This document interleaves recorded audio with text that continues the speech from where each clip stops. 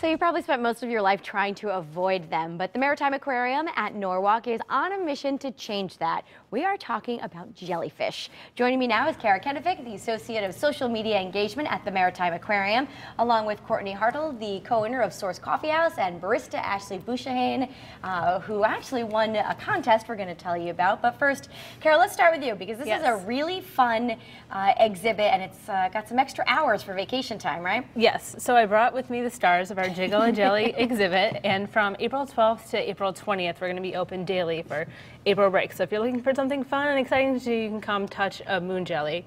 They have, they have a sting, but it's not harmful to most people. And you can just touch the tops of them and you can get really close to some of our animals. That's pretty cool. And now, uh, the reason we have our two other guests here in the kitchen is because we were doing a jiggle, jiggle a jelly latte kind of decorating contest, yes. more or less. Explain to us the details. So, kind of, it was a kind of a fun way for us to engage with our fans and with um, other local businesses as well. And so we kind of challenged local coffee shops to create the best jellyfish latte and Ashley created a mom and a baby jelly, and it was so cute, and um, everyone really responded well to it, and she won. All right, these are pretty cool. We have some pictures. We're going to show you the runner-ups before we show you Ashley's, but uh, this is pretty creative. It's kind of foaming all over the coffee cup there. That's great, and people were voting on them online, right? Yeah. That's a beautiful design. Like that one too. You had some stiff competition here. Oh yeah. Ashley, right? Wow. All right.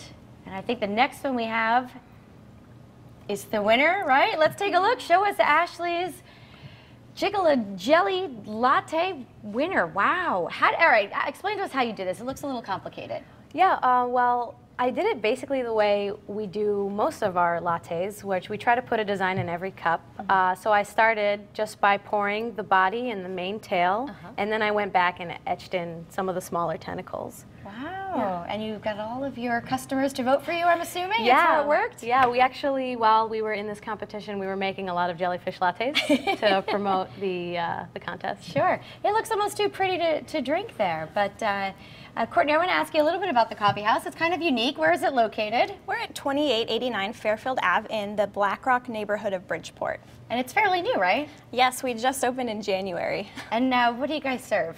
Well, we serve delicious lattes with maybe a jellyfish in them. Maybe a jellyfish.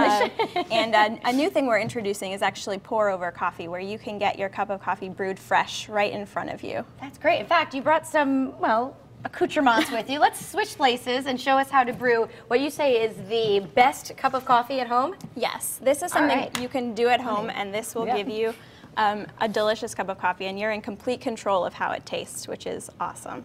All right, so let's get started. What do we have? All right, so right here we have our V60 pour over from Hario, and uh, we've already pre-wet our filter and ground up our coffee. So I'm gonna go ahead and put that in there and zero out our scale. And then just even that out a little bit and put a little divot in the middle, and that's gonna help you evenly distribute the water. So then you wanna get your water at about 200 degrees. We have our nice water boiler here that keeps it at a steady temperature. And then you're gonna start, start your timer and then just start with about a 50 gram bloom.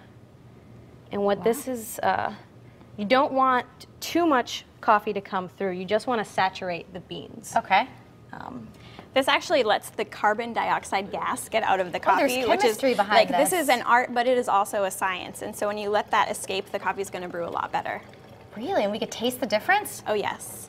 Wow, and is this equipment we could buy at home oh, and have yeah, at home? Absolutely. We'll actually we'll put this up on our Facebook page, and oh, if great. anyone wants to invest, it's a easy setup. Do you need the scale also? I mean, I guess you want to have the You know, you can just use a basic kitchen scale, which most people have. You can do it without a scale, but if you want to really hone in on that perfect cup of coffee, you want to weigh it. And this is what you do in your shop? You uh, do this right as the customer waits? Yes. Wow, that's pretty impressive. All right, we're going to let that brew. Ashley, you continue with that. And in the meantime, let's take a look at some video. And uh, Carrie, you could explain to us all the fun that's going on at the uh, aquarium. Yes. We're going to uh, put it up in a moment. But in the meantime, the kids actually get to touch the top of the, the uh, fish, right? Yes, so at the aquarium, you know, we really want people to get close to the animals on Long Island Sound.